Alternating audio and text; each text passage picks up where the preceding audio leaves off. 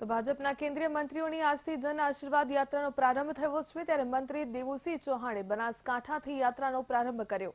દેવુસિંહ ચૌહાણે અંબાજી ખાતે મા અંબાના દર્શન કર્યા.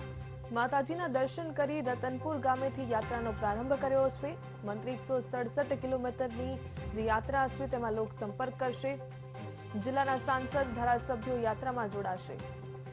દેવીસિંહ ચૌહાણ છે, તેમણે પણ જન આશીર્વાદ યાત્રાનો પ્રારંભ કર્યો છે. મંત્રી એકસો સડસઠ કિલોમીટરની યાત્રામાં લોકસંપર્ક કરશે. સંવાદદાતા ગૌતમ શ્રીમાળી જોડાઈ ગયા છે. ગૌતમ દેવસિંહ ચૌહાણ યાત્રાનો પ્રારંભ કર્યો છે.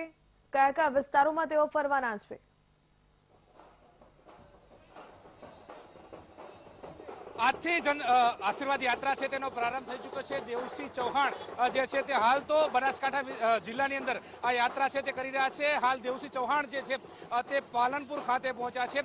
તેમણે સૌ પ્રથમ મા અંબાના દર્શન કરી અને યાત્રાનો પ્રારંભ છે તે કર્યો હતો અને ત્યારબાદ તેઓ રતનપુર ગામ છે ત્યાં વેક્સિનેશન સેન્ટર છે, તેની મુલાકાત છે તે લીધી હતી અને હવે પાલનપુર ખાતેનો જે નગરપાલિકાનો હોલ છે તે સભા છે, તે સંબોધન કરવાની ખાસ પ્રકારનું જે એક ગાડી તૈયાર કરવામાં આવી છે તેમાં જન આશીર્વાદ યાત્રા બે હજાર એકવીસ લખવામાં આવ્યું છે અને પાલનપુરથી આ યાત્રા છે તે ખેડા સુધી જવાની છે. આપ જોઈ રહ્યા છો કે દેવુસિંહ છે તે આવી રહ્યા છે અને ટૂંક સમયમાં તેઓ અહીંયા ઉતરશે અને ત્યારબાદ તેઓ સીધા છે તે લોકોને સંબોધન છે તે કરશે. જો કે જન આશીર્વાદ યાત્રા છે એટલે કે મંત્રી બન્યા બાદ તેઓ ગુજરાતમાં પ્રથમ વખત આવી રહ્યા છે. ગુજરાતમાં પ્રથમ વખત આવ્યા બાદ તેઓ આ જે મુલાકાત છે તે કરતા હોય છે અને તે કાર્યકર્તાઓને જે સંબોધન છે તે કરતા હોય છે. એટલે કે જન આશીર્વાદ યાત્રા છે. જ્યાં લોકો સુધી આ પહોંચી રહ્યા છે. લોકોના આશીર્વાદ મેળવી રહ્યા છે. એટલે કે એક અનેરો ઉત્સાહ છે. તે પણ જોવા મળી રહ્યો છે. આપણી સાથે દેવસિંહ ચૌહાણ છે. સીધી વાત એમની સાથે કરીશું. જન આશીર્વાદ યાત્રાનો પ્રારંભ મા અંબાના દર્શનથી કરવામાં આવ્યો અને આ યાત્રા અવિરત રીતે ચાલશે. અંબા જનેતાના આશીર્વાદ પછી જનતાના આશીર્વાદ થકી શ્રદ્ધેય વડાપ્રધાન મોદી સાહેબની આ નવી ટીમમાં જે જવાબદારી મળી છે, એ જવાબદારી પૂર્ણ કરવાની શક્તિ મળે. અને જે શ્રદ્ધા જન સમાજને છે, એ શ્રદ્ધામાં ખરા ઉતારીએ માટે આ આશીર્વાદ યાત્રા નીકળી છે. પાલનપુરથી ખેડા સુધીની યાત્રા છે. આ યાત્રાને તમે કેવી રીતે જોઈ રહ્યા છો? પાલનપુરથી ખેડાની યાત્રા છે, કેવી રીતે જોઈએ? પાલનપુરથી ખેડાની યાત્રા એક રીતે જોઈએ તો ગુજરાતના, ઉત્તર ગુજરાત અને મધ્ય ગુજરાતને જોડતી આ યાત્રા છે. અને હું એવું માનું છું કે આ બંને વિસ્તારોમાં જ્યારે એક જનપ્રતિનિધિ તરીકે જવાનું થાય ત્યારે દેખીતી વાત છે કે એક ભારતીય જનતા પાર્ટીના કાર્યકર્તા તરીકે જ્યારે પોતાના કાર્યકર્તાને આ સન્માન મળ્યું હોય જવાબદારી મળી હોય તો એનો સહજ ઉમળકો આ બંને વિસ્તારમાં દેખાય છે. તો ઉમળકો છે લોકોના આશીર્વાદ છે તે મેળવી રહ્યા છે અને આશીર્વાદને સાર્થક કરી રહ્યા છે. આપણી સાથે ગોરધનભાઈ પણ છે તેમની સાથે પણ વાત કરીશું. સાહેબ આ યાત્રાનો આજથી પ્રારંભ થયો છે. કેવી રીતે જોઈ રહ્યા છો? જન આશીર્વાદ કેવી રીતે? આ પાંચ યાત્રાઓ શરૂ થવાની છે.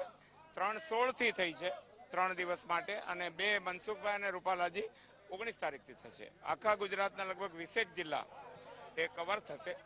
અને બધા જ માનનીય પ્રધાનમંત્રીશ્રીએ જે પ્રકારનું પ્રતિનિધિત્વ મંડળ બનાવ્યું છે, દેશમાં પહેલીવાર સામાજિક સંપૂર્ણ બધાને ન્યાય મળે એવા પ્રકારનું બનાવ્યું ચોક્કસથી તો બધાને ન્યાય મળે. તે પ્રકારનું જે આશીર્વાદ છે તે મળશે. હાલ તો હોલ ખાતે પહોંચી ચૂક્યા છીએ અને ત્યાં લોકો છે તે ઉમળકાભેર અહીંયા આવી ચૂક્યા છે. એક અનોરો ઉત્સાહ છે તે નાગરિકોમાં પણ જોવા મળી રહ્યો છે, કાર્યકર્તાઓમાં પણ જોવા રહ્યો છે. એટલે કે હવે આજે યાત્રા આજથી પ્રારંભ થઈ છે.